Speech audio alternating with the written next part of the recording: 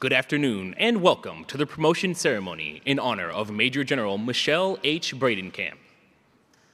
Our host for today's ceremony is the Commander, United States Cyber Command and Director, National Security Agency, Chief Central Security Service, General Paul M. Nakasone. Ladies and gentlemen, please stand for the arrival of the official party and remain standing for the playing of the national anthem, sung by Staff Sergeant David Zabo, and for the invocation offered by Chaplain Colonel Larry Daybeck.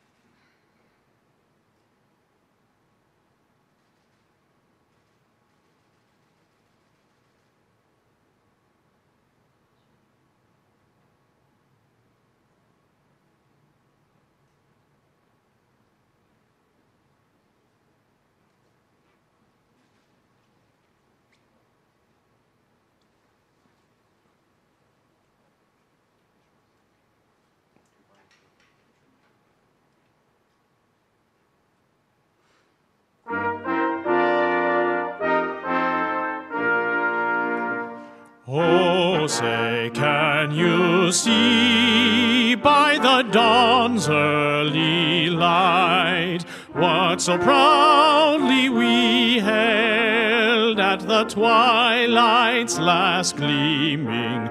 Whose broad stripes and bright stars through the perilous fight o'er the ramparts we watched were so gallantly streaming, and the rocket's red glare, the bombs bursting in air, gave proof through the night that our flag was still there. Oh, say, does that star spangled banner yet wave o'er the land of the free and the home of the brave?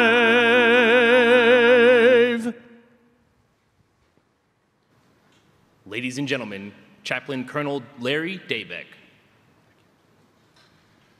Feel free to join me as I pray.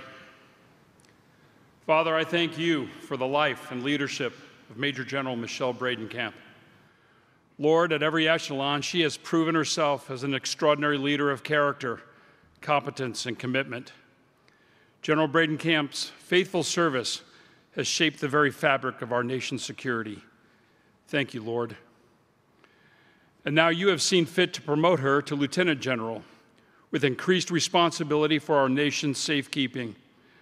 Father, I ask you to faithfully give her continued wisdom and courage equal to the task. And I ask that she remains faithful to you in all of her callings as a spouse, as a parent, and now as a lieutenant general officer. May she be dependent upon you and all that she does. In all your almighty name I pray. Amen. Please be seated.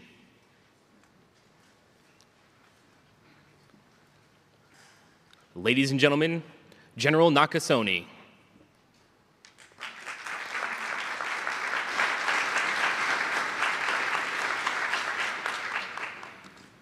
So before I begin today, for the United States Army Brass Quintet, for Staff Sergeant uh, David Zabo, for our chaplain, for the protocol officers here at the Army and U.S. Cyber Command, please join me in a round of applause.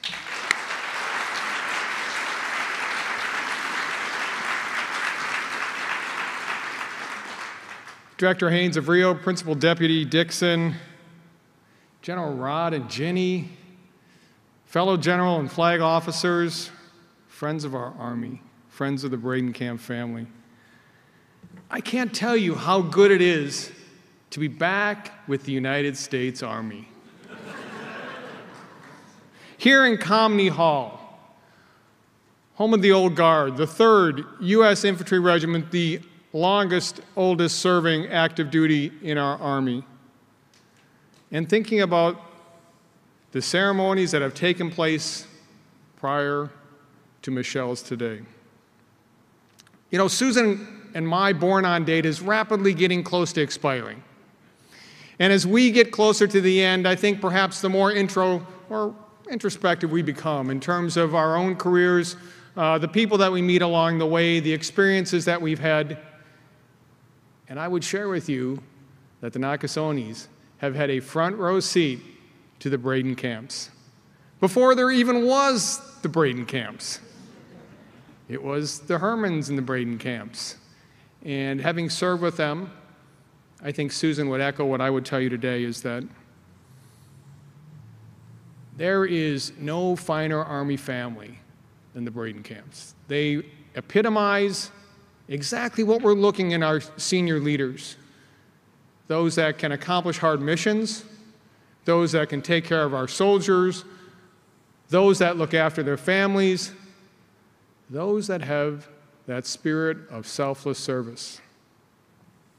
And so today, as I was thinking about Michele and Trevor, I was thinking about perhaps the key element that our Army, I think, does so well, and that's develop leaders. The development of leaders, the selection of leaders, the advancement of leaders. I would tell you that Michele Bredenkamp personifies our Army's success in developing, selecting, and advancing strong leaders. And I think there are three reasons for that. First of all, she began her career and quickly established that she was going to be tactically and technically proficient. She began in the 2nd Infantry Division, the 102nd MI Battalion. In fact, her first assignment overseas, I think, provided her the necessary soldier skills that allowed her to have success later on in places like the 82nd Airborne Division and Joint Special Operations Command back in Korea, being the Assistant Chief of Staff, G2, for the 101st Airborne Division in combat. She epitomizes this idea of ensuring that you know what you do and how you do it and do it well. The second thing is, is that Michele, she treats her work as a profession. It's not a job for her, it's a profession. It's a lifelong study. It's this idea of being able to ensure that you never stop learning. Whether or not that's on the demilitarized zone, whether or not that's at the 704th MI Brigade, whether or not that's at the Director of National Intelligence. This lifelong quest for learning began early, was fostered at Spring Hill College, and certainly has been developed throughout her Army career. And the final thing I think I would share with you is, is that Michele is the type of officer we give our toughest problems to solve. Whether or not that's understanding how to deploy your platoon at 1,500 feet as you're coming out the door, or whether or not that's on the ground in a foreign country, whether or not that's with a series of challenging partners, or whether or not that's with the latest technology. We've sent Michele throughout her career to command and lead, to be a principal staff officer in units that were looking for her to develop, deploy, and deliver. And she has done just that. And so when I thought of those three things, I thought, how was she able to do that? What is it that's special about her? What is it special about what she's done? That has given her that advantage to rise to the rank of lieutenant general. And I think, again, there are three reasons. First of all, is her strong, unabiding faith in what she's doing and what she needs to do. This faith was obviously developed very, very early by her mother, fostered by her sisters, Maria and Tanya, but also encouraged by her own family. The second piece is, is that she has an incredible network of friends Wherever you go, wherever you see someone that has been in the Army, particularly has been a paratrooper, and you mention the words Michele Bredenkamp, people will light up. Hey, she's my friend. She helped me out. She is an incredible leader. And that network of friends has allowed her to be successful at the tactical, operational, and strategic levels. And then finally, it's her family. It's her mother, it's her sisters, it's her children, Gavin and Greer, and most importantly, it's her husband, who has shared both the responsibilities of being Army officer, leader, but also, also father, provider, mother, supporter. And so today, as our Army gets ready to promote Michele Bredenkamp, I am incredibly pleased because we have developed, we have selected, and now we're going to advance the next generation of our senior leaders. Thank you very much.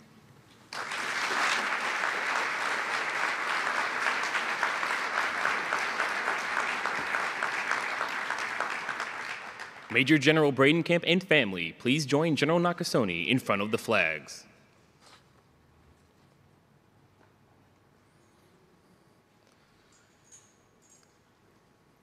Please remain seated during the publishing of the orders. Attention to orders. The President of the United States has reposed special trust and confidence in the patriotism, valor, fidelity, and abilities of Michele H. Bredenkamp. In view of these qualities and her demonstrated potential for increased responsibility, she is therefore promoted from Major General to Lieutenant General by order of the Secretary of the Army.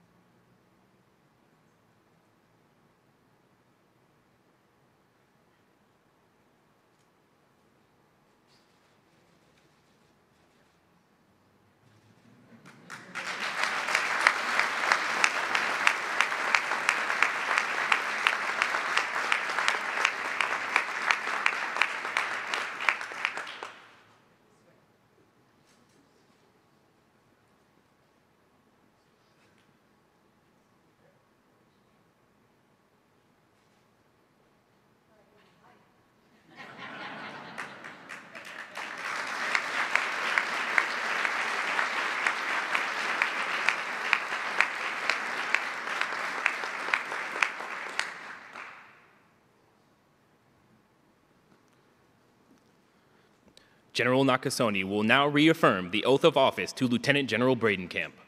I state your full name.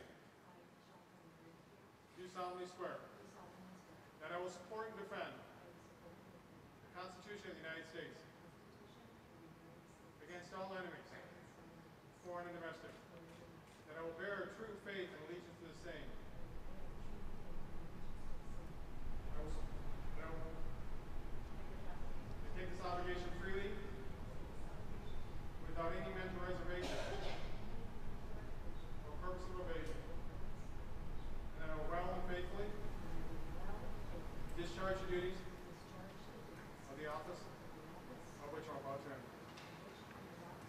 Good.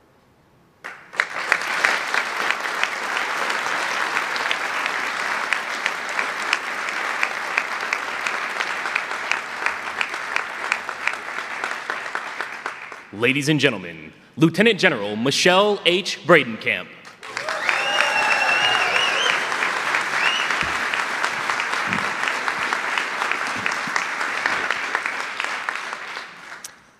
Wow, so good evening, everybody. Um, this is quite humbling when you look across the room and you look at the number of distinguished guests and friends um, amongst us. It's, uh, it really does take my breath away.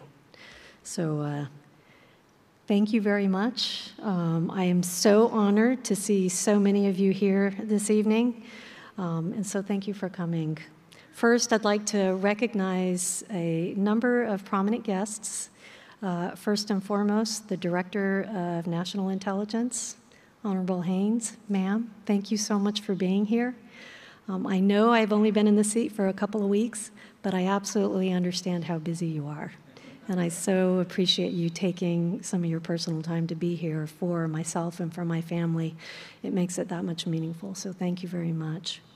Honorables Dixon, Luftig, Casey, Ayers, and Gibson. I see you back there, ma'am. Thanks for taking the time. General Mrs. Nakasone, Susan, I see you there. General Retired and Mrs. Rodriguez, General Rod, always great to see you. Jenny, Mrs. Mingus, Amy, I see you out there as well, and Mrs. McChrystal. Annie, thanks for being here. And I heard General McChrystal couldn't make it because he has the Yale football team, but they could have all fit in this forum here, so we would have welcomed them with open arms. So we're so grateful that you can all join us uh, this evening. And I do uh, want to echo what General Nakasone alluded to in terms of recognizing those that have really put together this special event tonight. Um, initially, we were going to do a very, very small ceremony um, where we could only accommodate maybe a handful of folks. Um, but my mother could not make it into town uh, due to engagement, and here we are today right? And so it does require much more of a heavy lift. And uh, I know personally how much work uh, the team puts into making these events happen, and um, I am so grateful. So, to the MDW and the US Cybercom protocol teams, as well as my XO, Colonel Leidenberg, I don't know where you are there, I see you out there. Uh, James, thank you very much for really facilitating and, and being the mastermind of tonight to the Army Band, the quintet, you're absolutely wonderful. I've always been able to benefit from your tremendous performances. Um, and I know you've got two of us, right? Super big fans, but thank you always for what you do. As well as to our fantastic um, choral singer, Thank you very much. And our narrator. Old Guard always does a fantastic job. They are so professional and they truly represent what's best in our Army, so thank you and to Chaplain Daybeck. Larry, um, I did see you. Um, thank you very much for everything that you do for others as a chaplain, as a man, and as my friend. Thank you very much, and it's always great to see you and Kathy. General Nakasone, wow. Sir, thank you. I know I mentioned it to you earlier, but I really do appreciate you officiating tonight. Um, as you all know, General Nakasone and Susan will have a change of course, a major milestone in, in their life next, uh, next week. And there's also a lot going on in the world today, right, that, I'm, that is affecting uh, the national security uh, of our nation. And uh, I really do appreciate you, sir, for, for carving out the time and always making time for us, no matter what's going on. Um, it's not lost on us, and uh, we do really appreciate it. And I personally want to say thank you for your leadership, for investing in me, and for genuinely really taking care of not just me, but my family over the course of 30 years. Yes, I said that 30 years. Makes me uh, feel like I'm really getting up there. Um, and about three, three decades ago, sir, I know uh, serving together, doing some uh, pretty amazing collection operations out um, along the DMZ, and it just goes by really fast. But I absolutely believe that I've learned from the best, and so I appreciate all you've done.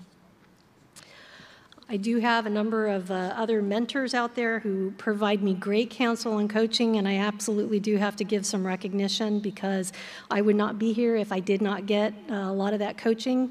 Some of it was uh, hard knocks, right? But I probably deserved it um, in terms of learning and growing. Uh, but General Rodriguez, uh, Lieutenant General retired Donahue, and Colonel Alsop uh, retired as well. Um, tremendous influential leaders in my life uh, that have taught me so much, and it didn't end once I stopped working for you. You continue to uh, reach out and, and help no matter what, so thank you very much. Um, I really want to go through names, um, but I'm going to hold back on that because um, I have so many friends and teammates uh, out there that I'm looking at right now, and some of them are joining us virtually as well. Um, and many of them have been along the way with us for over 30 years as we've been navigating through the Army. Um, some very, very tough times, um, sometimes, especially with the multiple combat deployments. And uh, I just want you to know how much you mean to Trevor and I. Um, just as General Nakasone alluded to, you know, sometimes the best learning and growing you get is from your peers. And it's just been absolutely amazing. And we are very, very fortunate and lucky to have some of the best friends that are out there that are continually supporting us, um, advising us, and just sometimes lending an ear. And uh, I just want you all to know how much that truly means to us because we would not be able to continue to serve and be here if it weren't for you. So thank you. I do have to give a shout out to the ODNI team. Um, this is my new family. I just entered into the team, um, but Honorable Haines, uh, the ODNI leaders, as well as uh, the DAMA team. I know DAMA team, you guys are out there, right?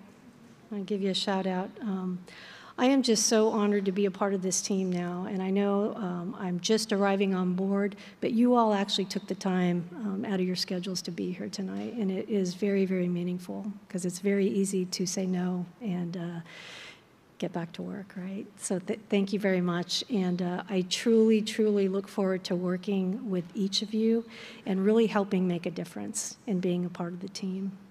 So thank you. And to my family, yes, this is my final uh, thank you here. Um, to my mother and to my sisters um, and Tracy, that does include you, right? My sister, um, not by blood, right, but by connection. Uh, thank you all for your love and support. Um, they've always been there for us, and even when you have to go through those tough times, you know, when you have to deploy, and unfortunately, uh, leave your, your children, right, for a year, and you've got to have that support network of folks that are really going to be able to uh, make sure that they're in good hands. And my family has always been able to do that for us um, the trust, the confidence, and the love. And uh, again, we wouldn't be able to do this without you. So thank you. And this will be a hard one. My husband, Trevor, General Nakasone, is spot on. Um, he is absolutely the most amazing man I know. I definitely married up with Trevor. Um, many of you probably know this, but he also has a very, very complicated and challenging command.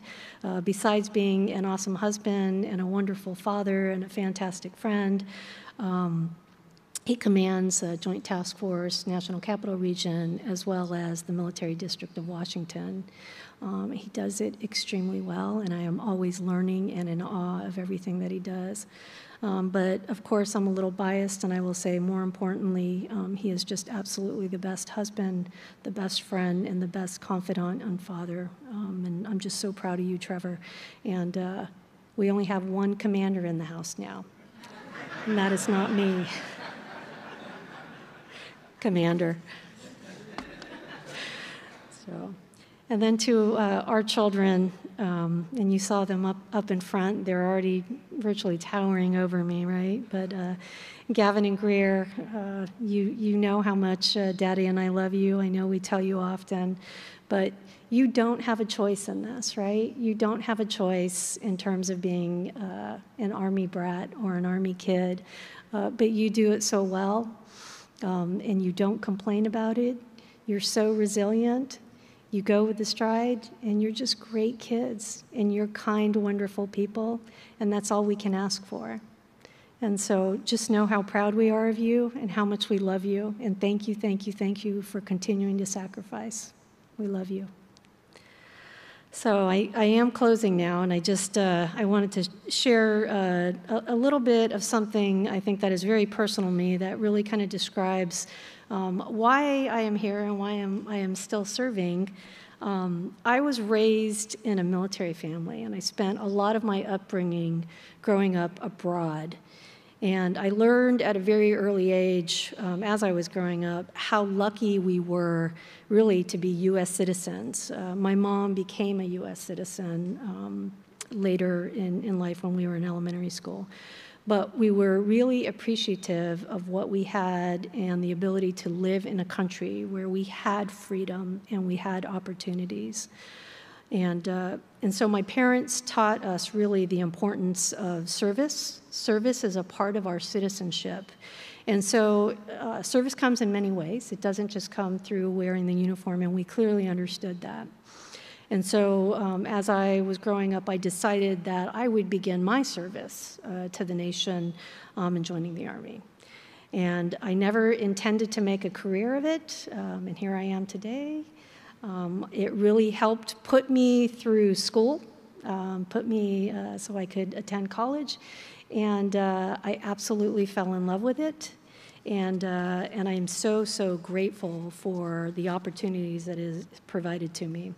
Um, I truly enjoyed the mission. Um, actually, it's kind of nice, right, to get paid to jump out of airplanes and rappel out of helicopters, uh, maybe back then.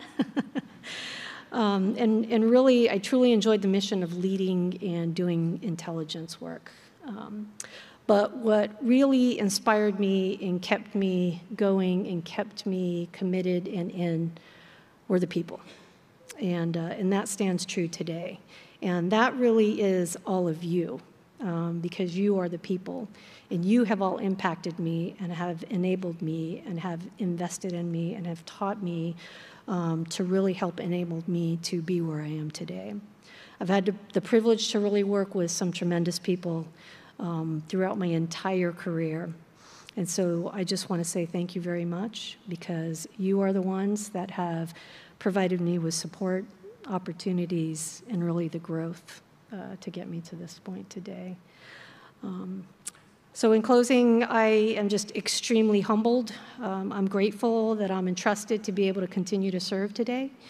Um, and I clearly, clearly understand the responsibility of what I have. Um, and I'll absolutely do good for others and make it matter each and every day. So thank you all for attending. Um, it means a lot to uh, myself and our entire family that you took the time to be here tonight. And I do want to provide an announcement that we are having a very uh, low key gathering at our quarters, so everybody's invited. And it's right around the corner. And we'd, we'd love to have you so we can actually uh, catch up with some, some folks one on one. But thank you very much. I'm honored that you're here.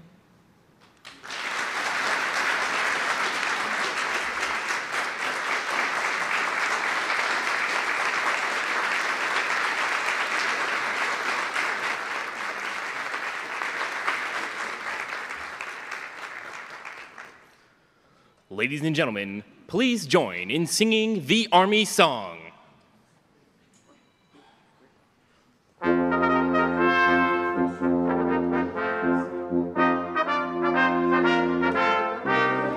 March along, sing a song with the army of the free.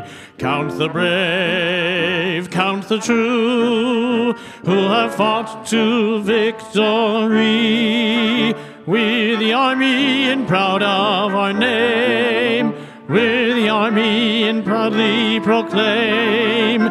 First to fight for the right and to build the nation's might, and the army goes rolling along. Proud of all we have done, fighting till. Please join Lieutenant General Bredenkamp and Major General Bredenkamp in the receiving line and join them for a reception immediately following the ceremony at their residence. Thank you for attending and enjoy the rest of your evening.